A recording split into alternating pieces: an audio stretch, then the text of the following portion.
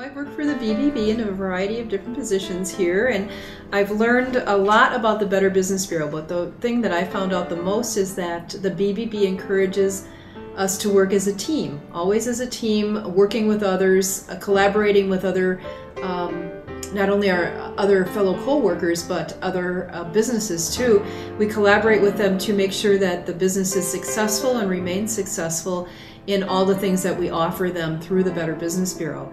There are many benefits for working here, and it's not only uh, insurance benefits and uh, vacation time, it's the fact that uh, the employees and our uh, staff genuinely care about us.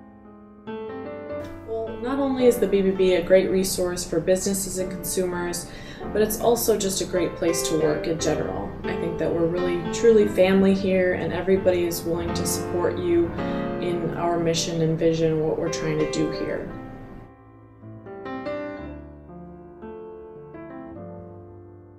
My name is Rand Hoth and I'm the president and CEO of your Wisconsin Better Business Bureau. You know, I never thought I'd end up working full-time for a nonprofit. I'm a uh, I'm a recovering banker, actually, by trade. I spent about 30 years in the banking business, and somebody put my name out there. I got involved with this BBB work, and I got to tell you, I never looked back. This is really a lot of fun.